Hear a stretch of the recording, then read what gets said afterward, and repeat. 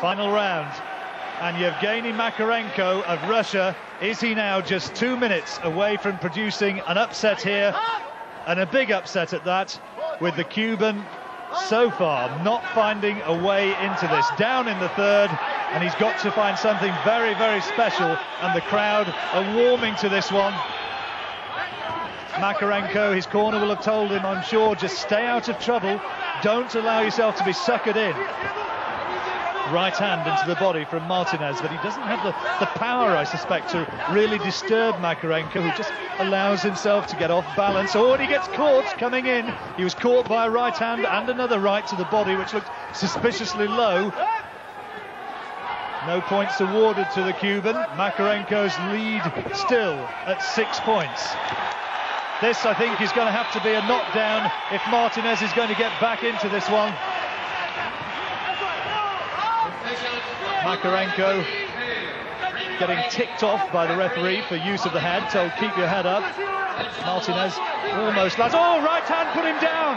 It was the right hand, and Makarenko did just what he didn't need to. He was suckered into it, and now we have an absolute fascinating last minute or so here. The count at eight, and the fight goes on. Now, both men have been on the floor.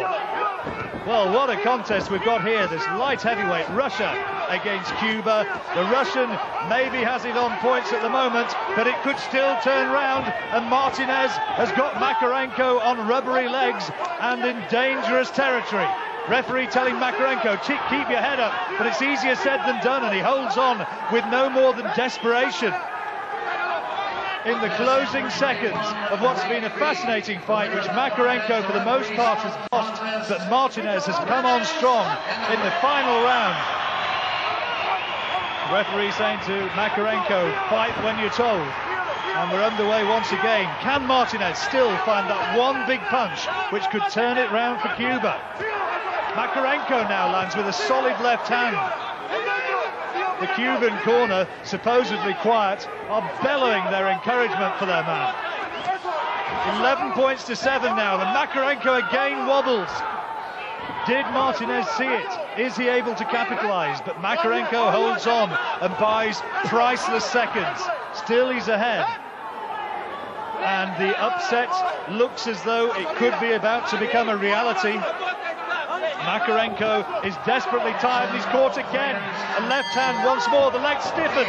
And a right hand. And he stumbles clumsily across the ring but the score is at 11 points to 8 to Makarenko and despite a massive final round for Johanson Martinez from Cuba coming on tremendously strong Makarenko I'm sure will now be given the verdict. But we saw Johanson really loading up in that final period and it begs the question why on earth couldn't he do that earlier on? At last able to get past the long reach and the left hook put his man down. Here again absolutely gambling with everything, trying to turn the fight, and like a tree waiting to fall in the wind, down went Makarenko.